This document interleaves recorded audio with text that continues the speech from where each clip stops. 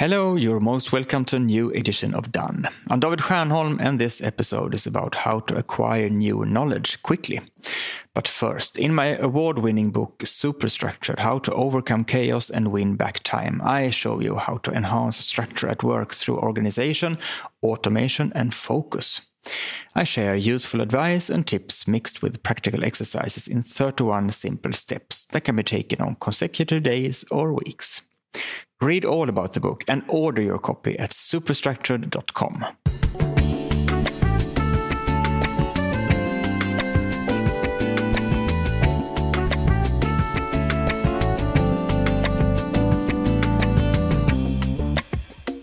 Do you also tend to forget things you have just learned? Someone shows you how to perform a task you have just been made responsible for, and in that moment it is so obvious how to do it. But the first time you are about to perform it yourself, you hesitate.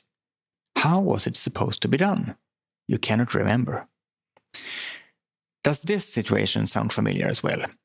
You are going to do something that is very complicated and you cannot remember exactly how you used to do it, but when you have twisted and turned it around for a while, you remember, and everything comes into place. That's right, this was it. But the next time you're about to do it, you seem to have forgotten all about what just recently felt was the most obvious solution. Or maybe you can identify with this situation. Your boss has reassigned you, and you look forward to delving into the new, exciting assignments you have been made responsible for. But first, you have to teach the one who is taking over the old tasks how these are best done. You schedule a sit down and go through everything. But the colleague still comes by the day after and asks, Sorry, can you remind me how I was supposed to do it? Can you just show me one more time?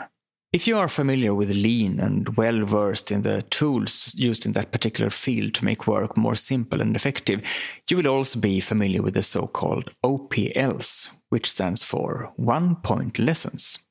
These are simple and short descriptions of how something works or is done, and they teach you how to perform a single step of a process or how to do a whole task. Let me emphasize that an OPL is simple, both regarding how it is structured and how to make it. Traditionally, the lesson has to fit on a single sheet of paper, a physical paper or its digital equivalent.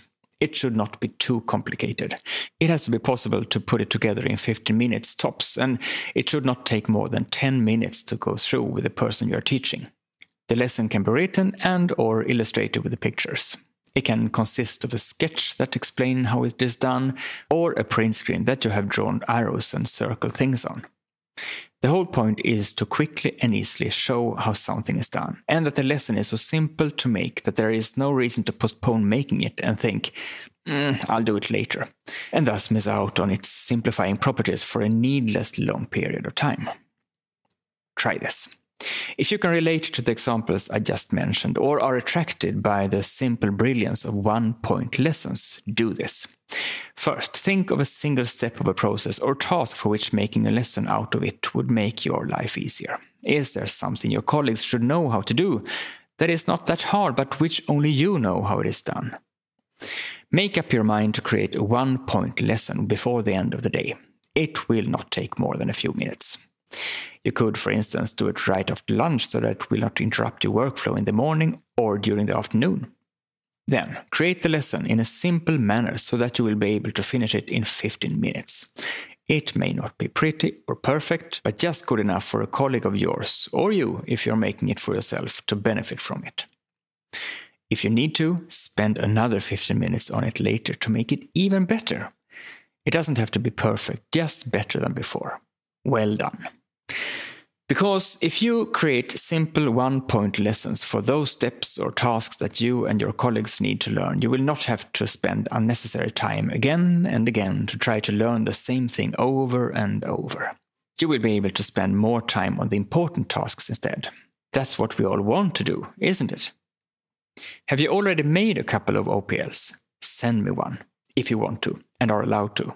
I want to see how you did it because it inspires me greatly to see how others have solved the little riddles and wrinkles of everyday life. As always, you can send it to david at stiernholm.com and you are more than welcome to do so. If you know someone who would also benefit from making one point lessons, tell them about it. Or make an OPL to show them.